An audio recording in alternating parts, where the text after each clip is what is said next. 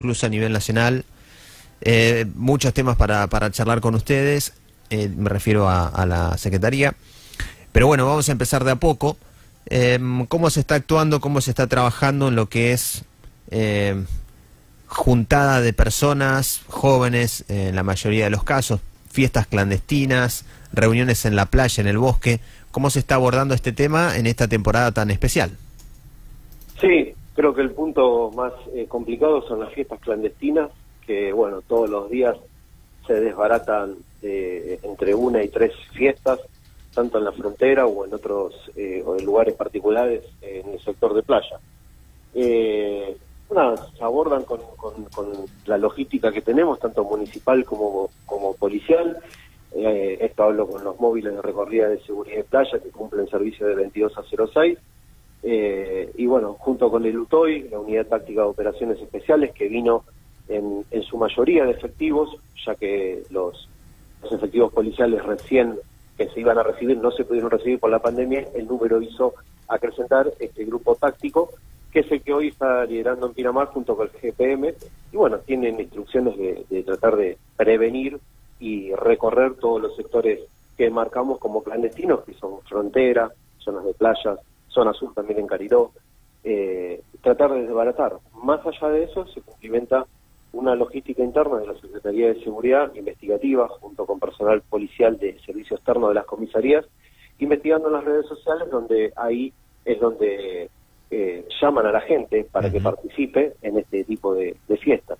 Lo que hace una tarea bastante complicada porque cambian el sitio y cambian las páginas cada tres o cuatro minutos. Entonces eh, es bastante complicado. Pero bueno, con las recorridas que, tenemos, por ejemplo, el, lunes a la madrugada, a las dos y media de la mañana, una fiesta clandestina en, una, en un lugar muy lejos de, lo que es La olla perteneciente al partido de Pinamar, más para el lado de ruta, eh, se pudo desbaratar una fiesta clandestina con más de 300 personas, todos chicos de entre 16, 17 años hasta 22, 23, creo que no había más, más gente grande, con torres de sonido, eh, uh. grupo electrógeno, eh, Todo a full. Bueno, una barra para hacer tragos. Eh, ¿Qué dicen los, los jóvenes en ese momento cuando cae la policía o, ustedes? Salen, salen disparados. Salen corriendo.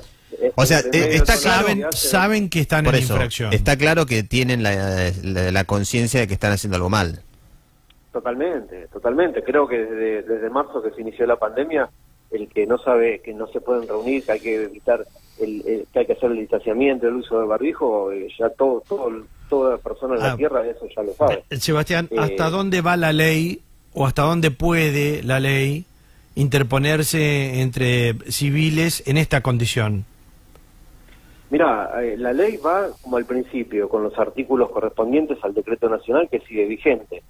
Después, por ejemplo, en esta fiesta que yo te estoy comentando, de 300 personas, eh, cinco que eran los organizadores se pudo aprender, no eran de acá de Pinamar, eran de la ciudad de Rosario, eh, pero bueno, se los notifica de los artículos correspondientes y pasan a la fiscalía y obviamente eh, automáticamente quedan liberados.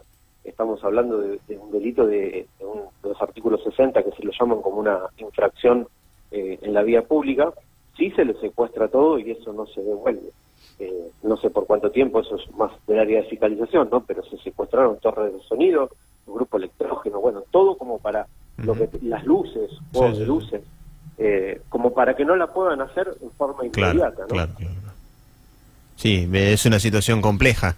Em, también compleja porque se pueden generar incidentes. Eh, el otro día veíamos... yo creo que, como hablaba ayer con un colega tuyo, el riesgo eh, mayor, más allá de lo que es la pandemia, que también es un, es un alto eh, índice de, problemas que estamos teniendo, es los focos de incendio que se dar. estamos hablando de que hoy, mira, dijeron que iba a llover y todavía cayeron unas gotitas sobre la madrugada eh, y no está lloviendo, está el pasto amarillo. Entonces, hablamos de un, foco de incendio, porque esta, gente prende fogones, eh, cocina ahí algunas hamburguesas, chorizos. Parar el bosque de un incendio es una tarea muy complicada y estamos previendo de que en los próximos tres o cuatro meses va a llover muy poco, casi nada, eh, eso creo que es un, un, problema que, que, lo estamos teniendo todo toda la familia pinamarense que, estamos acá, ¿no? Eh, Sebastián, saliendo de esto puntual, eh, tema inseguridad, porque bueno, ocurrieron algunos hechos también. Eh, ¿Cómo venimos en Sí. esta temporada? Mira, eh, en principio eh, hubo un robo agravado eh, por automotor el día sábado por la noche en la estación de servicio Puma, en la parte de atrás donde se carga el, el aire a los neumáticos. Sí. Una familia que estaba eh, estacionando para hacer la carga fue interceptada por un Renault Symbol con tres ocupantes. Se baja uno, forcejea por la ventanilla y amedrentando como que tenía un arma en la cintura que nunca la exhibe. El hombre sale del habitáculo, la esposa con el hijo salen corriendo para el sector de playa. Eh, bueno, y este- esta persona eh, se mete en el habitáculo del auto y sale en contramano de, y sale intermediano sentido norte. ¿Un Honda Fit? Eh, un Honda Fit, Sí. color gris, exactamente. Sí, sí. Y el auto donde venían los delincuentes era un Renault Symbol. Eh, las dos personas con el Renault Symbol siguen a este a este Fit y bueno, a pocas cuadras fue interceptado por un móvil policial que ya habían dado el aviso eh, los playeros porque bueno, había Claro. mucha gente, eran las 10 de la noche. Una locura. Así que bueno, fueron aprendidos esta, esta persona que estaba solo en el auto, robado, y las, dos, las otras dos iban en apoyo con el Renault Symbol. Estas tres personas eh, le bajaron la detención el domingo a las 12 de la noche de la ciudad de Pompeya, eh, que, que vinieron hace unos días Mira. acá para bueno para hacer este Sí, tipo sí. De, de delitos. Después tuvimos el 31 a la noche, alrededor de las 10 de la noche, un hurto en Cariló, en Nogalia Butarda, de una mochila y un celular, y otro el domingo, que fue en la calle Ballenas, esa misma madrugada fue en Ballenas y Pléyades, pero eso eh, al otro día eh, la policía eh, hizo un buen trabajo investigativo, ya que eh, en uno de los dos lugares robaron un iPhone 8, donde la geocalización marcó un punto en un lugar de Ostende, donde sabemos que hay una persona que, bueno, que delinque es Wow. nuestro de todo el año, Uh. que tiene antecedentes, así que, bueno, se allanó ese lugar y se pudo recuperar lo robado y esta persona quedó aprendida a disposición de la justicia. Hemos visto también robos de bicicletas que se han publicado, por ejemplo, en, en redes sociales.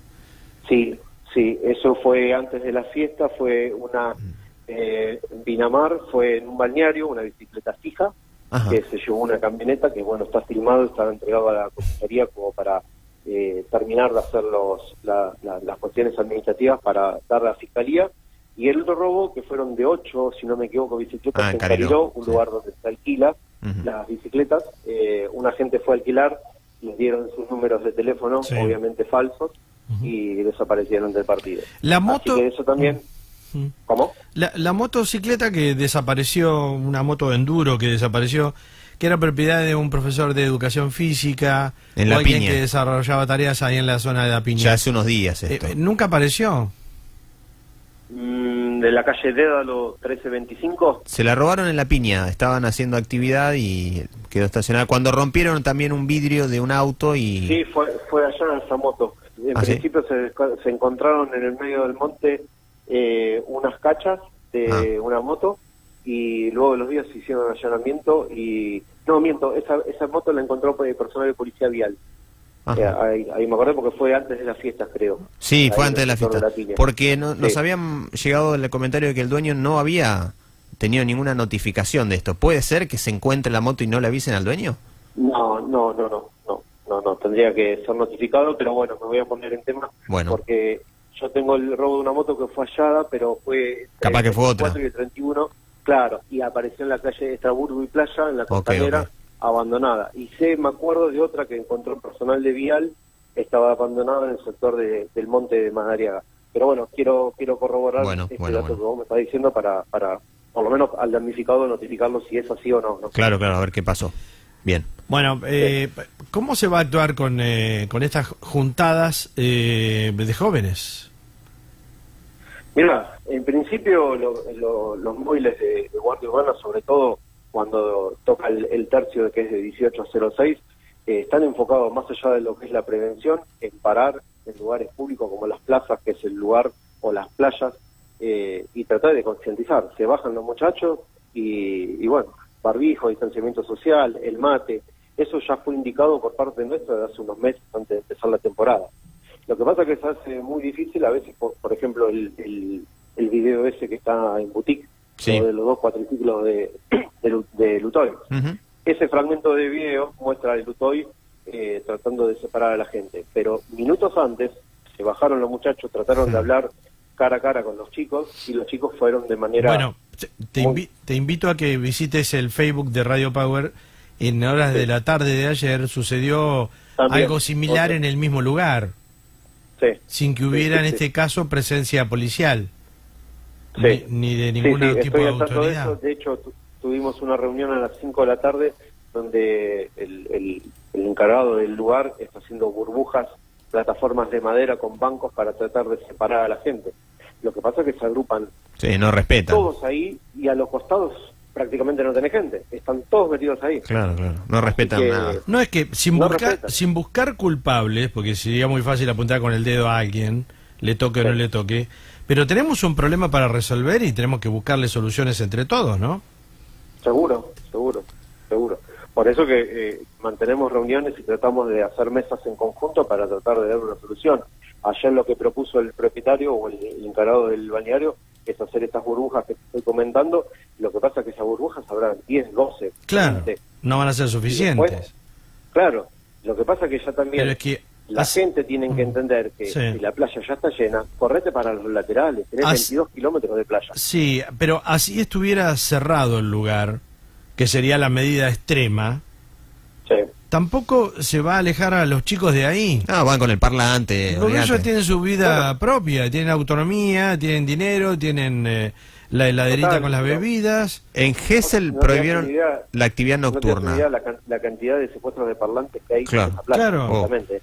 Pero Todos bueno, los santos días. ¿eh? Bueno, pero por eso, como es un mecanismo de accionar y accionar, no es solución, evidentemente. Eh, ¿Dónde está la solución? ¿No se debería generar una campaña intensísima de prevención, saturación de información de lo que no se debe hacer?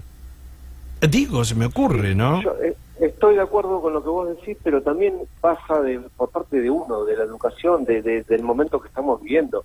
Vos le, le- le vas a buscar un chico de 18 o 20 años que te a las 4 de la tarde te tiene una botella de vodka en la mano.